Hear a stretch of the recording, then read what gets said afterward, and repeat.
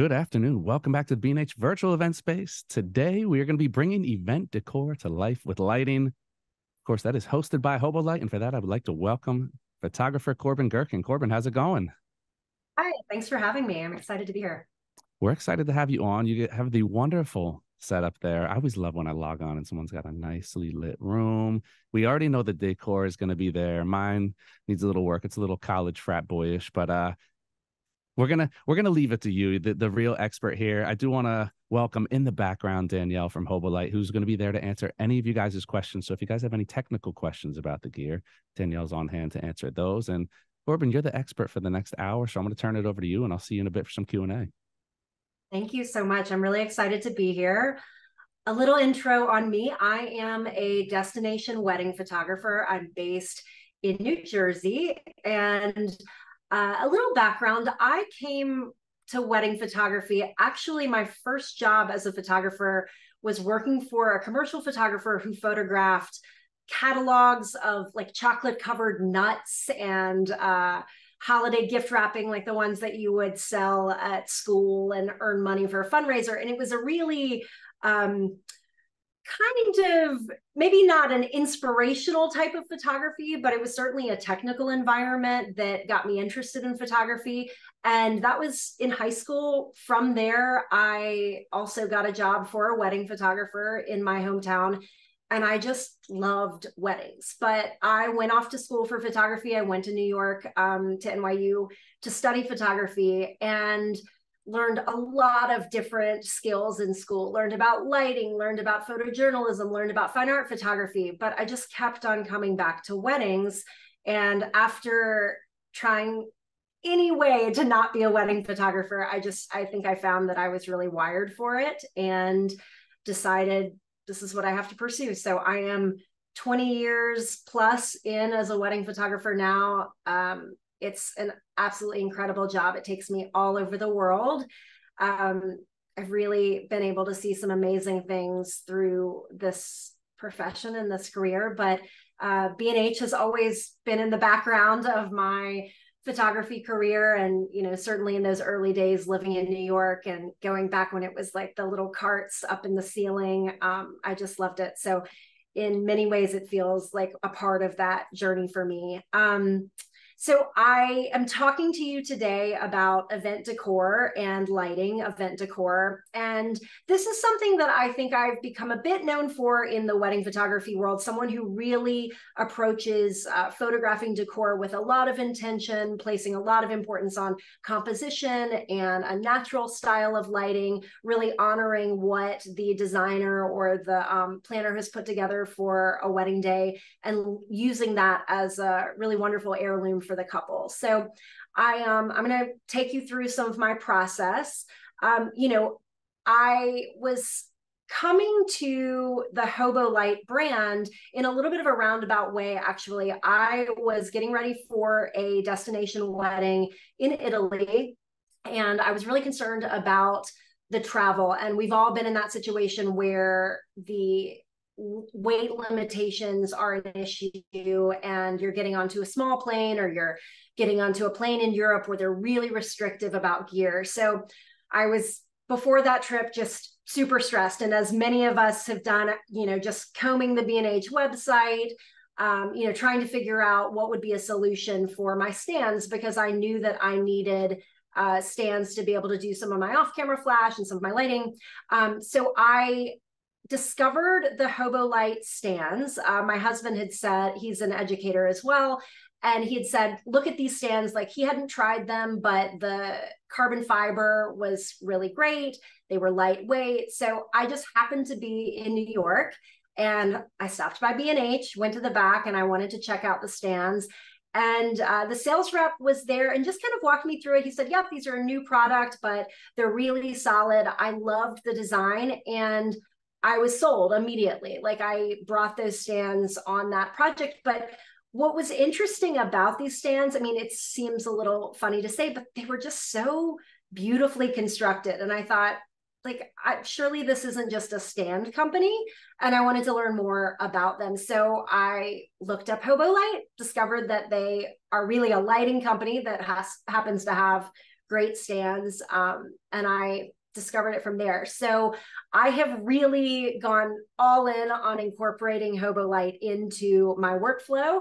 And um, they've really been such a game changer for me. I mean, again, the portability of these lights is really fantastic for a destination wedding photographer. I fit pretty much all of my Hobolite gear goes into my carry-on.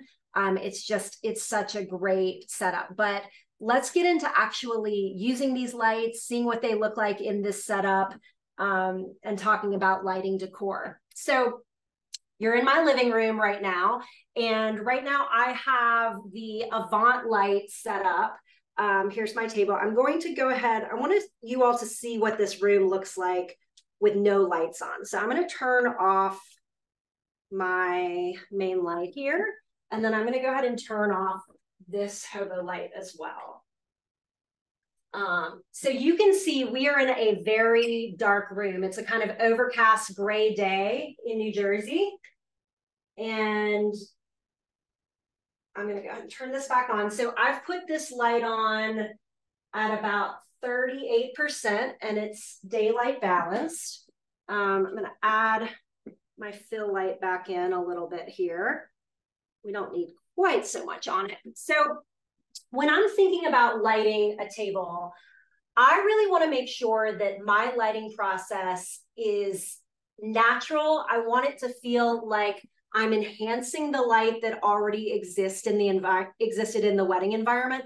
I don't want to add my own lighting design to um, to a reception because a lot of thought has been put into that already. So I'm definitely approaching it from the point of view that I'm trying to just kind of bump up the uh, exposure a little bit. I'm trying to get a little bit more fill light into the environment. So I've set up one Hobolite Avant, um, and this is battery powered. It lasts for an hour on full power, but I never use it on full power. Um, so I've set up the Avant with the lantern modifier. And normally what I would do is set that kind of at the corner of um, a reception table. And the reason why I like that is, first of all, giving it a little bit of an elevation. We're trying to mimic the sun here. So I'm giving a little bit of elevation to the light so that the light sort of spreads across the table. And you get some really beautiful highlights in the glassware. You get some nice shadows.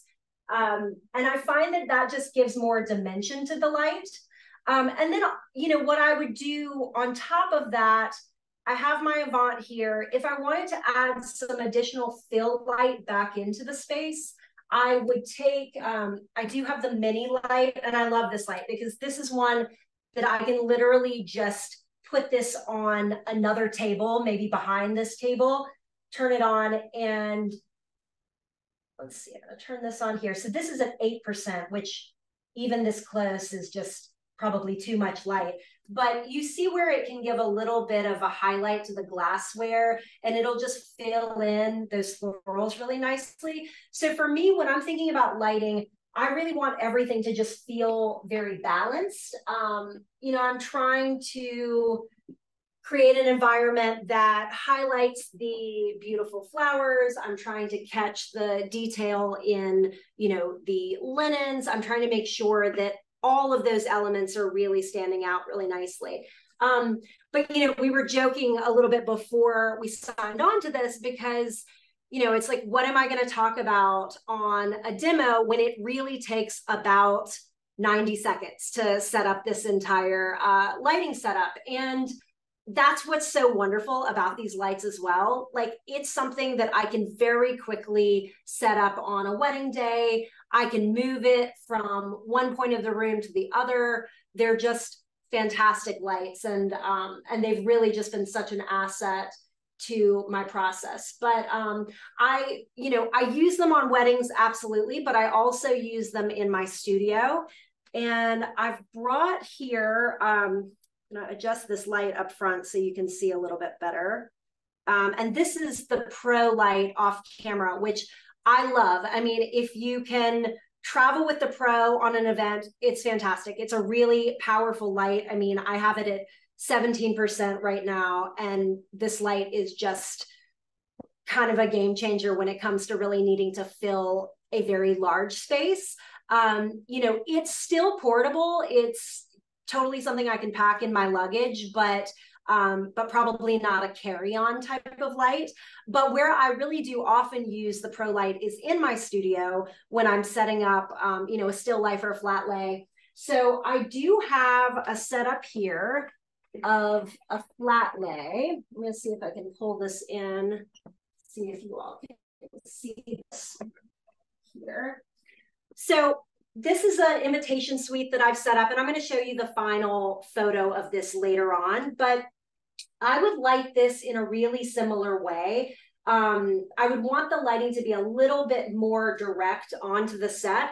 So if I'm setting up my camera, you know, let's say I'm here on my tripod and I probably have a side arm that goes over the set. Um, I'm then going to set my light up on this side and I'm going to come around and show you that. So I'm going to have my light set up here. And I'm going to lower this down a little bit so we're a little bit closer to the set. Um, now, one thing that I like to do with flat lay photography, I really like to even out uh, the entire light kind of coming across. So a lot of times I just pop a scrim into that set. So let me open this up. And then I would put the scrim here, the light behind it, and that way I can adjust the light accordingly. So I can really see where, you know, I soften the shadows. I don't have any harsh shadows.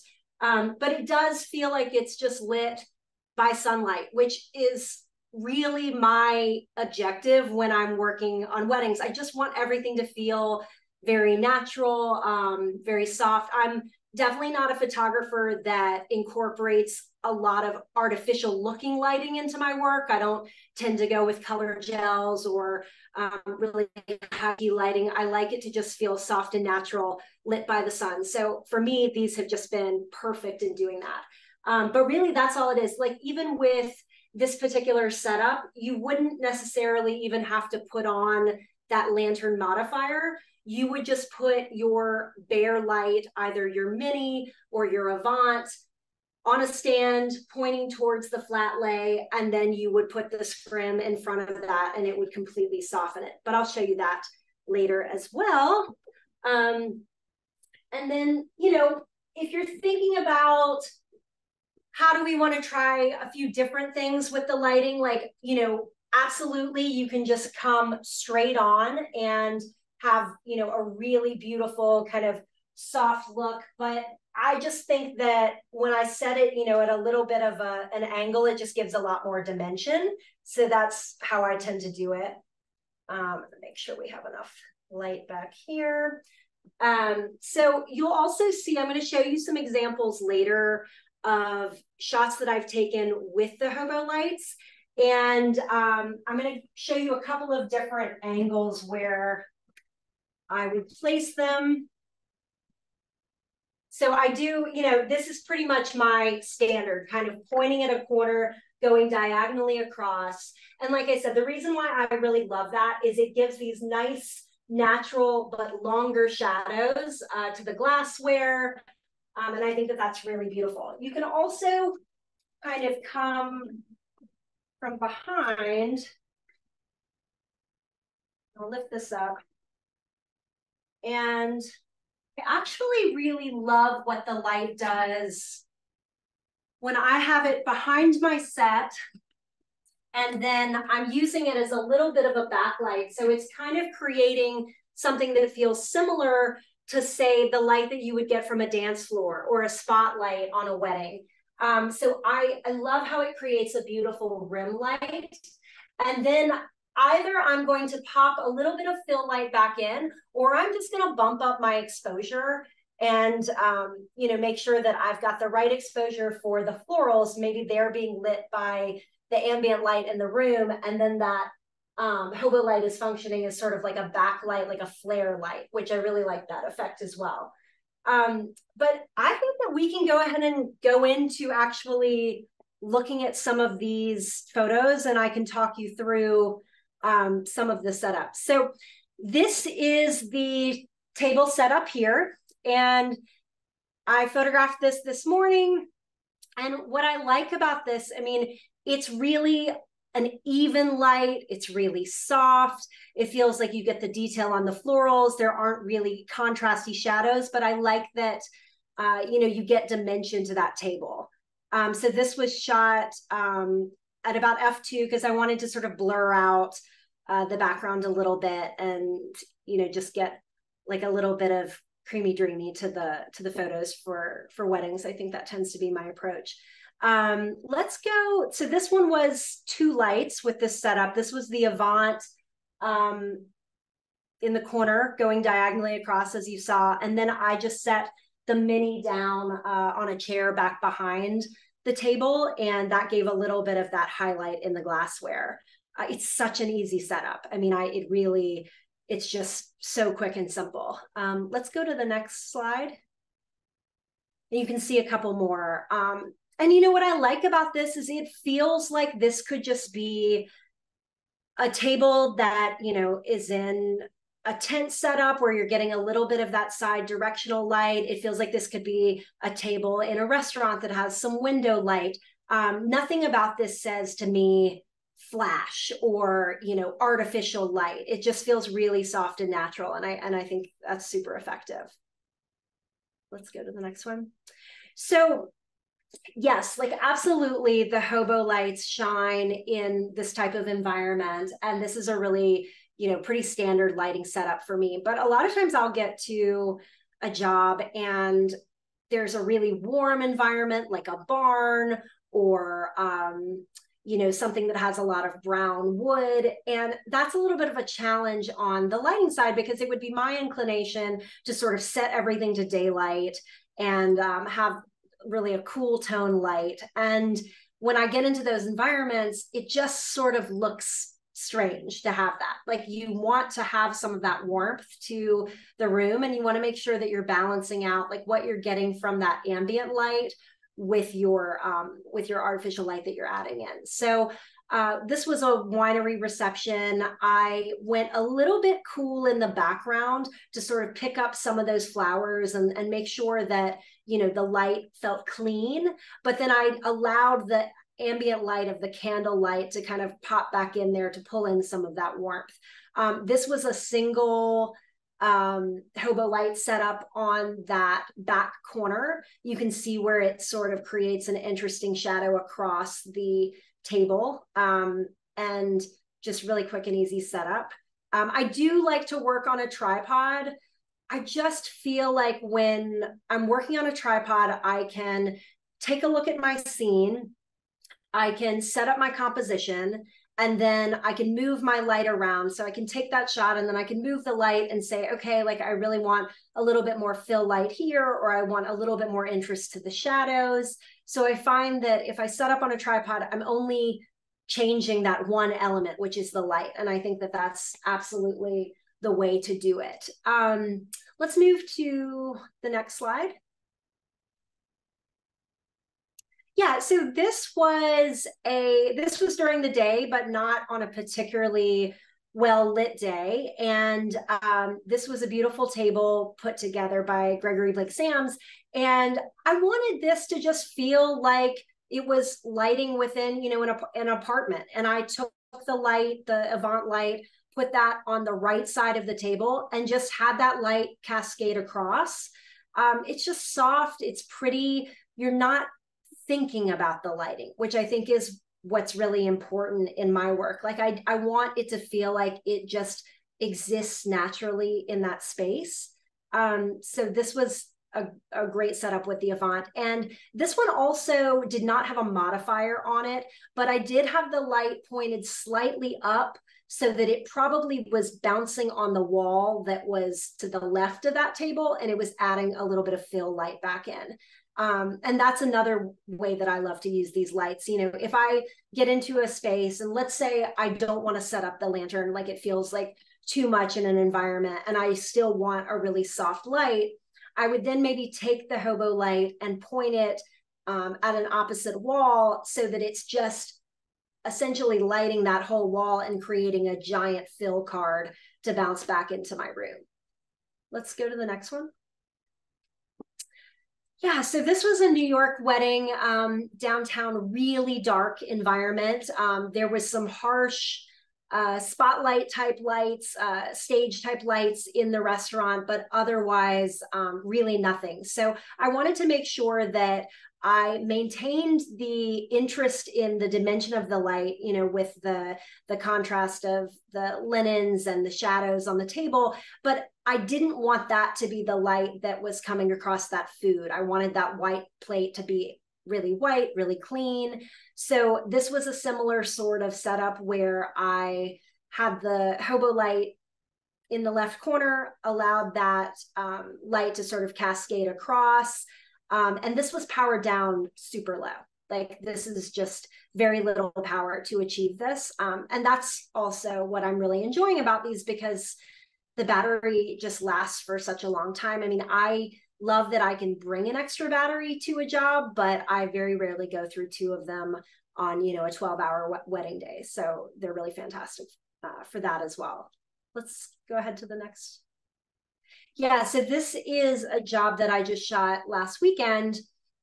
And similarly, this was one of those dark barn types env- type of environments. And when I got in there, you know, it had this really beautiful blue linen, but everything just looked really orange, really warm, very dark. Um, so I set up the Hobolite on the far right of that table, just out of frame, and I kind of allowed it to just cascade across uh, you can sort of see where it creates some interesting shadows on that close-up shot of the place setting. Um, and I like that because I feel like we maintain the candlelight.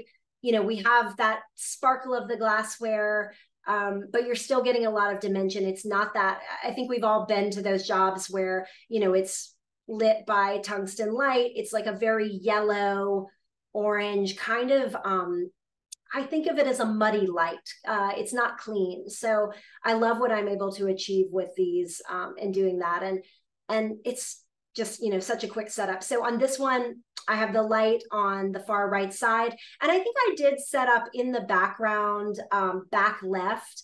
I popped in uh, an additional light back there just to pop a little bit of light onto uh, that stone wall back behind the the mantle. Um, but you know a two light setup is really totally great for this big of a room and it creates a lot of dimension let's go to the next one okay yeah so these lights like i said they're so great for decor and that it's definitely my i would say it's sort of my main use for them on a wedding because that is the environment where I just don't know what I'm going to get when I get into a reception room. I mean, I I tend to shoot in environments where there's been so much thought put thought put into the design, but it could be that there's a vision for like absolutely stunning candlelight. And as we know as photographers, we can't light exclusively with candlelight. So I um you know I find these to be really useful in that. But I have been playing with them lately on uh, portraits as well. And the reason why is, you know, as a photographer who's been shooting as long as I've been shooting, you know, I'm no longer in that place in my career where I can get to a job and it's a super rainy day or it's an overcast day and say like, well, well, it's raining and this light's just going to look flat and um, a little bit blah. I mean, it's someone's wedding and they have an expectation that I really know how to make it look sparkle, sparkly, and you know, I know how to make it look uh, magical. So I have been using the lights lately to add a little bit of um, just a little something into those really overcast days. Danielle, let's pop that photo back on if you don't mind that shows uh, the bride with the bouquet. So this room was actually really similar uh, to the room that I'm in now. It was very dark, but I got into that space. And as you can tell, I love a blue space, I love a blue environment. And I got into this room. It was the father of the groom's study. And I just thought, oh, like this is the perfect environment. But that wall behind the bride completely dark, completely flat. You know, the window was not facing towards the sun at that time of day. So I wasn't really getting anything but a silhouette from that window. So I was talking to my team and we decided let's put the pro light outside of that window so that we get the same effect as sunlight coming through. Um, so we set up the pro on really high power. Um, and it really it sort of poured into that room and i love the shadow that it created with the window panes on the backdrop but you can see in that really pretty um, close-up shot of the bouquet i mean you get such a nice softness to the um, the fabric of the bride's dress and, and kind of getting that luminance that comes back in. And then you know as far as bouncing that light back into the bouquet which you know with florals you do really want to make sure that they have some nice light on the front of them. That's really just a matter of um, you know adding a fill card. A lot of times i'm on a wedding i'll grab a pillowcase if that's a little bit easier just to pop that light back in. But it's so soft it's so pretty um, it absolutely you know achieves what i'm trying to do with my photography style. Let's pop to the next slide. Yeah so this is that invitation flat lay that i have set up here. Um, this is what that light looked like. So I have the light set up on uh, the top of the frame, as I showed you, a scrim sandwiched in between, and then I have the set. It's just, um, you know, shot as a flat lay overhead, but feels like it could be outside, which I love because, you know, I also do some product photography and I don't want to rely so heavily on just having a nice day or that the light isn't going to change in my studio. So it really allows for a lot of consistency there. Um, and, you know, I do a lot of work on styling and decor. I have a course on photographing wedding decor, and this is a really big part of that education.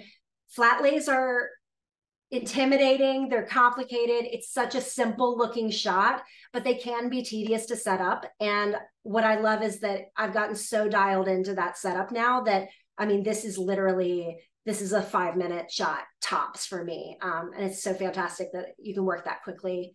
Um, you know, if you have clean lighting on on your wedding day or your event day. Um, let's go ahead to the next one. Yeah, so portability. Um, this is so huge for me. I mean, I like I said, I am traveling a lot for weddings and I think I just have such anxiety about getting to that flight and the person at the check-in desk like lifting my very heavy gear and saying you can't board with that. And, and I have been in that position many a time over the years and it's just stressful um, it's not how you want to go into a job worrying about your gear. And so finding gear that is lightweight but doesn't sacrifice quality has always been really important to me. Um, you know, previously I was using, I think I had Manfrotto stands, great stands, super solid, been around forever, um, but they're big. And I had to travel with a whole separate uh, kit for my stands. I couldn't just set them down into my um, into my carry-on or even into my checked luggage. Um, but I really love that the Hobolites are so portable. I'll um I'll grab a couple of these pieces of gear so that you all can see. Um, so this is one of the stands and it really reminds me of like a carbon fiber carbon fiber tripod. I mean, similar sort of setup. Um, take this part for you. Um, you know, it's has the um, the locking legs. Gonna undo this. Hold on. Yeah, so you just loosen this, you know, really smooth, like super smooth design. Um, and then these just function the way like a normal carbon tri fiber tripod leg would, just up and down. Um, but they're just they're really compact, super lightweight, um, but they feel sturdy. Um, you know, so don't worry about the lights falling down. But for safety, you can always you know clip onto this a sandbag, or there's also a feature on the bottom that you can pull out and clip your sandbag onto. Um, but the stands are great. I mean, highly recommend those. And let me just tighten that back up. and then this is uh, this is the Avant, also so small. And this is, you know, this is their medium size light, but honestly, I can throw it in my camera bag. Um, they also have the mini, and that one is even more compact. Comes with a little tripod, which I love. Um, and, you know, we were talking about, I was talking with Danielle earlier about sort of how I look at these kits and what's valuable to me. I personally like a kit where it's just sort of everything is there, it's ready to use. And so I really like the creator kits because I don't have to think about the accessories. It has everything I need. It has, you know, the light modifiers. It has um, the tripod. It has the clamps. It has the battery attachments. Um, so I love that that's been thought out and and I, I use all of those kits. So I use the Avant Creator Kit. I have the Mini Creator Kit. I've added on um, the lantern modifiers to my kit, and then I um, have a couple of well, I think at this point I probably have four stands um, in some different sizes, um, but they're they're fantastic. Let's uh, Daniel, let's move to. I think we have my kit up next, and then maybe yeah I mean, you can see it. They're just, it's really small. You know, it travels so nicely. Um, so this is what I have in my sort of standard event kit. We have the Avant, the Mini, the Micro is great. I don't do a lot of those my, those macro photos of rings, but it would be definitely valuable in that type of application. Um, but it's also super useful when you just need a little bit of light. Like you don't want to just a mood. You just need to pop a little bit of light into a subject, you know, maybe at the reception, dial in that uh, color temperature and really beautiful soft light. Um, so you can see there what, you know, I would include in my kit. Um, let's go to the next slide. Yeah, keep on going. Yeah, so, you know, I, I definitely use the lights for decor, but we also find that, you know, there's several points of the day that they're just very helpful. Um, I love using them during speeches. I feel like it's such a quick setup, you know, take the light, point it at the subject, um, pull it back out quickly. This uh, was a tinted wedding in Martha's Vineyard. And for this setup, you can you can actually see sort of I left this one in because I wanted you to sort of see where that light was. You can see the little circle of the light behind the subject, but I basically used the Hobolite as a rim light on uh, this particular shot, and I think that we had had it set up off to the side for speeches, so you know it works really well in that sense too. It's a strong light. Um, and then, you know, you could be using fill light from a mini. You could have, you know, your assistant is holding a mini off camera, or you have it on a stand, or you know, maybe you're just even using the atmospheric light um, from the event. But it's it's really great in that application as well. Um, let's go to the next slide. Uh, this was another one, you know, just I wanted it to feel this was a very kind of glam New York wedding, and I wanted it to have that uh, sensibility to it. I wanted it to be kind of sort of old world Hollywood glam. Um, so this was just me on the dance floor popping a light uh, into the bride's face, you know, capturing that moment and then putting it down. And and there is a lot of that when you're hand holding with the light, um, you know, so as not to blind whomever is in front of you, you know, a little bit of a pop of the light like a flash would and then set it down. But um, but that's a really nice way of using it as well. Um, and then couple portraits like this was um, a fairly dark apartment um, but i wanted to just make sure that i had some really lovely light on the couple's face and uh, this would have just been set up out of camera from the left hand side you know you're getting light coming in from that uh, window in, that's off camera on the far right but nothing that would light the couple. So it's really just a matter of adding uh, some fill light. And this is um, these are friends of mine who just eloped in the city, Josh uh, Gooden and Serena, and they um, their videographers and they've also commented on just how fantastic these lights can be for video as well. I mean that's uh, honestly a big application on weddings is a, a, constant light for video. So i certainly get a lot of interest uh, from my video videographer friends as well on these lights. Let's click click ahead. Um yeah planning for the unknown. I mean live events. So many things can happen a lot to uh, think about and you know that you have to be prepared for.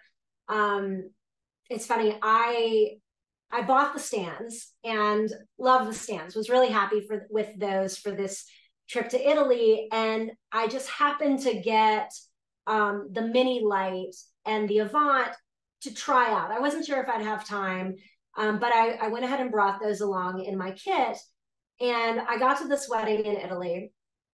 Everything's going fine. For one reason or another, the sunset ceremony started very late. Definitely not sunset. Well after sunset, teeny tiniest glimmer of light left in the day. And, you know, I I was sort of in that moment of like, we need a light. I mean, I don't think I have time to set up, you know, a flash and test. There's 200 people sitting in an audience. Like, I don't think there's that, but I literally ran to my camera bag, bag that was, you know, off on the side, grabbed the mini light that I had on uh, the tripod, literally this light, ran and grabbed this, pointed it at the couple, um, you know, at the foot of the, there was sort of an, an altar and there was a little staircase. I literally just put this little light on the staircase, pointed it at them. And I mean, I'm telling you, it was the light that lit the entire ceremony. Had they not been lit with that little mini Hobolite, they would have gotten married in the dark. And um, those photo, I don't have that photo on here, but um, that photo, uh, that wedding was recently on my Instagram. It was on Vogue. It was a wedding in Puglia. So you can see, I mean, it's a very dark environment, but thank goodness I had the Hobolite because it completely saved me in that moment. And look, I mean, that's what happens on events. Like we can plan and we can set up our lights or, you know, we can set up our flat lays. But at the end of the day, you know, you want to be prepared with a kit that not only is dialed into your formula and the things that you just know you have to do on a job, but that's also really well set up for those moments where a surprise happens. And um, that's just been super valuable to me um, I think I can kick it back to you all. And maybe we can chat through a couple questions if there are any. Yeah, definitely. I want to thank you again, Corbin, and the entire Hobolite team for putting this on. We do have the questions coming in, so we'll get to them. Some of them you did answer. We had some that came in early, and then you did get them answered. Uh, one of the questions that I wanted to start with is from Aaron. You answered one part of her question, but she was asking about what the environment is like using constant lights similar to a video light is that any different when you're out on the dance floor having a constant light versus using a strobe yeah that's a good question and you know i would say when the dance floor is actually bumping and the and the guests are on the dance floor i'm really switching to the micro light or the mini light just in you know in my camera bag so it may be that I hold that light up quickly, capture the moment. And you know, another thing I like about having a little light like that is I can add one of those color gels onto the light. They have these accessories that just sort of pop onto the front of the light, and I can almost mimic the vibe of the dance floor. So maybe it's like a really blue lit dance floor. There's a lot of red, like you can add that in and you can kind of keep that vibe without it just feeling like a bright white light and the rest of it going into a color, if that makes sense. So in that moment, I definitely recommend a bit of a like up, shoot, down, you know, like I don't um I don't leave it as a constant light uh during that time. Interesting. So it's more like kind of like a run and gun style where yeah. yeah, getting... I mean, it's not to say that I am never going to use Flash again. Like there are absolutely applications for Flash. Um, but I just like the way that this sort of light, this constant light, it feels more similar in my mind to what you would be getting from stage lighting. so it like blends with the environment in a in a really nice way. Okay, so Colette out there watching had asked if you ever use flash or just these lights. I think that that pretty yeah. much covers that question yeah, there. I so. I mean, you just you want to have all those tools in your pocket. Um, but yeah. Okay. Question from uh, Megan asking in particular about the dancing photo, the one in the tent from Martha's Vineyard. Did you have any modifiers on the light that you were using as a rim light? No, so that was just well, I had the barn doors. So the barn doors come with the um creator kit and I had that set just because it allows you to, you know, move the light a little bit, but um but no, nothing in terms of a softbox. You know, once that event gets going, it's a little tricky to have a huge softbox on the dance floor. I mean, it just I think it looks a little strange. Um, so, and I, I find that my the planners that I work with are not on board with that, rightfully so. But um, but yeah, it's just a little light with the barn doors. Is that something that you'll discuss with the wedding planner? Because I think that continuous lighting has become a lot more popular now. Obviously, with more people having video documented, it kind of just ushered in that wave yeah. of still photographers using it. But is that some is that a discussion that goes on with the couple or with the wedding planner? you know, not so much the couple. I think that they're kind of there for the party and however that's going to unfold is um is you know they're on board with but you know i want to be respectful to the other vendors who have put a lot of time and effort into creating that space and um so of course i want to give them a heads up and say hey like I love your beautiful dance floor, but we're lit by, you know, the light of the three candles on that far table. I'm going to pop a little bit of light into uh, this first dance, and then I'm going to move that light out once I'm finished. So, certainly on those formal dances, I mean, the event that I shot this weekend, I actually did have this light set exactly like this with this lantern modifier. I put it at the corner of the dance floor. I said, Hey, I'm going to move this out as soon as it's done. But I just wanted it to be pretty and soft. And, you know, the nice thing about Hobolites as well, like a lot, I always get comments on what they look like. I mean, they look like a tiny, like vintage Hasselblad camera. They're cool looking and um, they don't take away from the environment. Like they they kind of feel like old cinematic lights, and and so I think it works. I think that adds. I mean, we're we're an aesthetically driven culture now, and whether it's a camera or a lighting setup, we want stuff that looks cool and it doesn't. You don't want yeah. it to look like you're on like a uh, a construction site and you have construction looking lights set up. Yeah, I mean, I remember back in the day, uh, way back in the day, we brought we would bring deer lights to weddings to, to try and shoot uh, you know, like that rim lit look and have a deer light back behind. And, you know, of course, everybody's absolutely blinded. And and you know you don't want to be that photographer that is taking away from the experience. You know you really want to enhance it. Yeah well as you mentioned that it's like even the light you have there it's pleasant. It's not we're looking right at it and it's not like even even like a little desk light that people will use to stream. Sometimes it's like even after like 30 minutes of being on camera it's like okay i need a break. I feel like the light yeah, is really pretty light. Um i mean that's why I like it. I mean, I'm a you know, I'm a photographer. I came to these lights and and this process just because I had a need. I certainly, you know, I don't have like any sort of special commercial relationship or anything like that. I just um, you know, I like to find tools that work for me and will work for uh, people that I, you know, teach or, you know, other colleagues, other photographers. And I would say, you know, when I post about uh, my work, a lot of times I get DMs from other photographers just being like, tell me about that light or how are you doing this? And, you know, we're all just, we're trying to find the right tools to make, you know, our best work.